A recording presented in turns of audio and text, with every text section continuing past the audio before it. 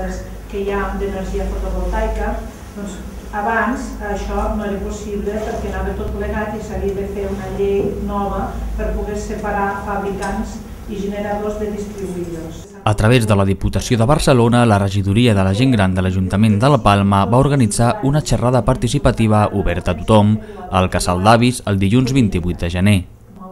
La xerrada, que va començar a les 5 de la tarda i va tenir una durada d'una hora i mitja, va tractar de com prevenir enganys en la contractació dels serveis de subministrament d'energia i dels avantatges i inconvenients de les ofertes dels diversos subministradors. Aquesta xerrada va córrer càrrec de la docent tècnica en subministraments energètics, Francisca Manonelles, que ha fet estudis de psicologia i és professora de tecnologia i matemàtiques en un institut de Mataró i ja fa dos anys que ofereix aquesta ponència a través de la Diputació de Barcelona. Llavors eh, s'explica una mica com és el rebut de la llum, quins conceptes té, què contempla i s'explica una mica les ofertes que hi ha al mercat per evitar que aquestes persones pues, doncs, caiguin en un parany d'ofertes d'aquestes que són un bluff a vegades perquè doncs, eh, són a vegades molt grandiloquents i en realitat doncs, l'oferta és molt senzilla. Per exemple, oferten un 30% de descompte, però no, les persones es pensen que és un 30% de descompte sobre el preu de l'electricitat, quan en realitat a vegades ho diuen sobre el terme fix. I clar, les persones a vegades no saben què vol dir el, terme fix.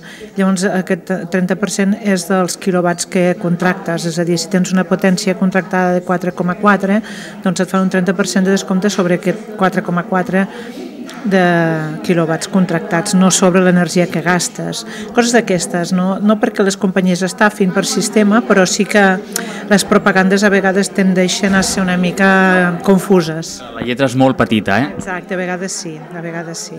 Llavors el que s'intenta en aquestes xerrades doncs, és aclarir conceptes, donar alguns exemples, recomanar doncs, que les persones quan facin un contracte llegeixin dos cops, que tenen set dies una vegada signat el contracte per desdir-se'n, que s'assessorin abans de donar el pas definitiu. Vull dir, és que a vegades eh, ens truquen per telèfon i ens diuen no, contracte perquè li oferim això i allò altre, ens agafen amb un peu coix i fem el contracte i dius, ostres, ja l'he pifiada. I això no s'ha de fer mai, vull dir, sempre val la pena assegurar-nos del que diu el contracte i llegir la lletra petita. I bé, tot bé, però resulta que ara pago dues revisions perquè el gas natural no m'ha donat mai el servei de revisió i em cobra 10 euros cada Ja, ja són dos. ja són dos no, un dia Això d'aquests s'ha de reclamar amb aquella cosa Sí, d'atenció. reclamar un model que també ens ha rebut. Diuen A que és contracte per un any. No Sí, sí, això és veritat, No eh? és a un any, eh? És renovable, no. Però aquí, aquí és que està, és, és la història. Venen unes, un senyor, senyoretes, és igual. Sí. Unes persones a casa i t'ofereixen un... I nosaltres no tramitem la baixa del No, no, això és mentida. Però t'ho diuen. Sí, I clar. tu piques com un bou. No, no, I l'any passat vaig haver de trucar, i trucar, i trucar, Perquè perquè no em venien. Ja. I llavors em van deixar apuntat que vindrien l'any passat, Sí. a l'octubre o al novembre, Sí. i no m'han vingut. I ara volia Pues, tornar a trucar. a, a mi una reclamació, perquè Oi? aquestes coses sí. El meu pare, un Sí. senyor que deia que era comercial, el, el pobre ja és gran, evidentment, eh, em va dir que el senyor li s'hi havia emportat el rebut Clar. amb el sí, número de compte. Clar, evidentment, com que aquest comportament és molt estrany, perquè un, un comercial, evidentment, no té que portar-se mai a la vida informació i una informació tan seriosa com el número de compte. Al final van tindre que anar a els Mossos d'Esquadra perquè dient, ens van informar molt amablement de que ells no coneixien cap eh, estafa que eh, d'aquesta manera, però que de tota manera canviéssim el, el compte corrent.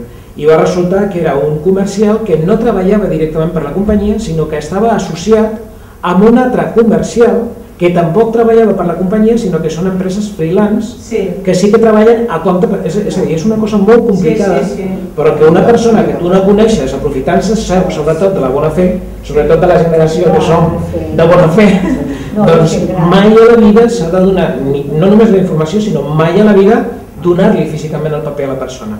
A la xerrada, molts dels assistents van dir-hi la seva. Van explicar diferents casos viscuts en primera persona, en què els van voler estafar o prendre dades relacionades amb l'empresa energètica amb la qual tenen els serveis contractats, tot fent-se passar per una empresa associada, tal com ens va explicar en Javier Laoz. Explica què estaves explicant abans, eh, que has tingut un problema, que et van trucar una trucada, no? Com va ser? Sí, bueno, és el que, lo que l'he preguntat a la senyora, que fa unes 4 o 5 setmanes vaig rebre una trucada a casa meva. Ja al principi em va sobtar perquè em van dir truquem d'una companyia de gas, clar, una companyia de gas pot ser qualsevol, no? I això em va fer posar una miqueta els pèls com escàrpies, no? Llavors van comentar que era per fer-me un contracte de la revisió anual del gas i tot això. A mi em va estranyar, perquè normalment és cada 5 anys. I llavors li vaig dir, bueno, truquem demà que ja, ja parlarien amb vostè. Eh, vaig comentar amb altra gent del poble, algun conegut meu. També, va, també van trucar, van rebre la trucada? Sí, sí, també van rebre aquesta trucada. I vaig anar aquí al veí, que té l'empresa de, de manteniment, i em van dir que això no és cert, que l'únic obligatori és la revisió eh, de la caldera anual, que és el mateix que ha dit la senyora aquesta. Què et deien en aquesta trucada? Què, què, et deien en aquesta trucada? Aquesta trucada el que em deia era per fer-me per 120 euros a l'any una revisió completa de la instal·lació del gas de casa, el qual no és correcte. Era una revisió d'una caldera costa 60 euros, no costa més eh, evident, més o menys el mateix que pot costar una mica més, em sembla que és la revisió de cada 5 anys. Però això ja és la companyia del gas, ja està en una altra història. Però et van dir que era, que era una obligatorietat? Sí, ahí està el problema, que em van dir que era una obligatorietat. Bueno, directament no ho van dir. Van dir la revisió obligatòria de gas. I nosaltres venim, no van dir, és obligatori tot, però no van centrar-se en la caldera. O sigui, el que t'estaven venent era una revisió completa com si ho fos no deien exactament que era obligatori, però te ho deixaven entendre. Clar, a mi em va semblar una miqueta una estafa, parlant clar. Afortunadament, l'oficina del consumidor informa bastant. Hi ha estaments locals ja que també intenten doncs, fer assessorament de les persones i bueno, una de les coses que té la gent gran és que no és massa confiada tampoc. Vull dir, sempre és una mica recelosa perquè està una mica enganyada, bueno, o li sembla que l'enganyaran. I llavors, pel desconeixement que tot el que l'envolta d'aquests mm, papers i aquests documents, doncs eh, pensa, mira, més val que no faci cap moviment i així no m'enganyen. Però llavors també està la contrapartida, perquè a vegades sí que val la pena canviar de companyia o agafar una oferta. Vull dir, eh, no sempre tot és negatiu, hi ha a vegades ofertes que dius, ostres, mira, si l'hagués pogut aprofitar, hi han coses que les persones grans no ho fan, no es canvien per no fer canvis de papers i per tenir por d'alguna pífia, per dir-ho d'alguna manera, i en canvi sí que els aniria bé canviar la millor per les seves despeses, pels seus ingressos, acomodar-se més a un altre tipus de contracte. Vull dir, és tot una mica, no només és dolenta la propaganda, hi ha coses bones que també s'han d'aprofitar. Llavors, aquestes xerrades van una mica adreçades a això, a que la gent pugui entendre una mica el llenguatge i puguin discernir entre una oferta que és bona per a ells i una que no els resulta prou eh, bona. A més de les múltiples dificultats existents per entendre de manera planera les dades impreses a les factures energètiques i la gran quantitat d'estafes que hi ha, ja sigui per telèfon o de manera presencial, cal sumar la dicotomia que trobem pel que fa a la possibilitat de proveir-se d'energia fotovoltaica o energia termosolar. Una ja és més que accessible per a qualsevol ciutadà disposat a fer-se la instal·lació, mentre que l'altra està pendent de regulació per part del govern central i amb poques possibilitats d'executar-se sense passar per mans privades. L'energia fotovoltaica ha avançat molt en, en el sentit de que ha baixat molt de preu tot el que és la instal·lació, però encara la regulació de la seva instal·lació a les llars per poder fer una, un intercanvi molt fluid amb les empreses elèctriques no està clara. És a dir, eh, per a què anés bé perquè pogués l'utilitari, les persones, els, les llars, poguessin consumir la seva pròpia energia, hi hauria d'haver una, una normativa regulada que permetés un intercanvi fluid, és a dir, jo genero energia a casa meva, però la que em sobra te la dono tu com a empresa energètica i quan jo no em pugui generar perquè aquell dia és núvol i no, no tinc prou hores de llum i em fa falta energia, la recupero o n'agafo de la teva i després fem un balanç. Sempre de la mà de l'empresa privada? Clar, sempre hem d'anar.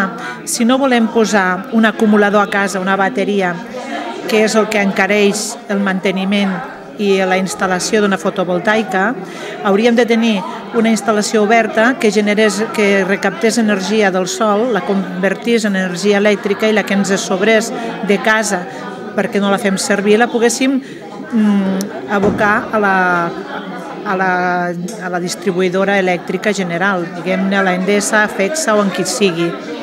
Però això no està prou regulat encara. I per què no? Això és una resposta política. Aquí anava jo.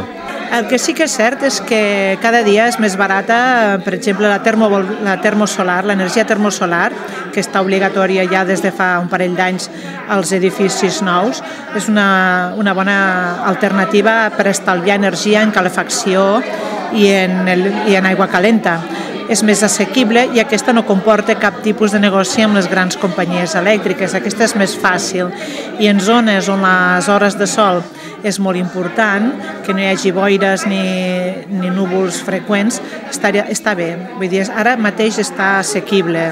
Per uns 3.000 euros, eh, poc més o menys, pot una família aconseguir tenir termosolar. Aquest és el tema. La xerrada participativa estava oberta a tothom que hi estigués interessat, encara que molts ciutadans es pensaven que com es feia el casal de la gent gran, estava dirigida només a aquest col·lectiu, que potser sí que és el que més facilitat presenta a l'hora de patir aquest tipus d'estafes i desinformació. Malgrat tot, les persones que van assistir la van trobar prou interessant.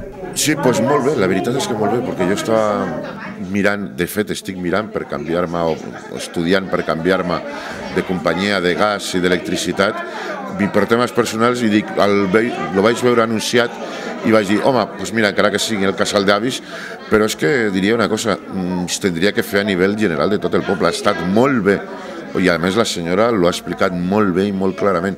Jo m'he quedat sorprès de, tant de la qualitat com de la senzillesa com que l'ha fet i mira que estic acostumat a assistir a xerrades i a col·loquis i a històries, no?